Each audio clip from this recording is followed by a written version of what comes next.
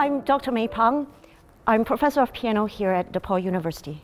I think that it's important for all musicians to be flexible, well-rounded, and open-minded. 21CM helps because it actually provides the framework in which to do that creative thinking. I try to help them find some connection between their own interests, their other studies, and what we do in the piano studio. It's an exchange of ideas, um, and, and given their diverse backgrounds, it's, it's really interesting to, to have this dialogue every day.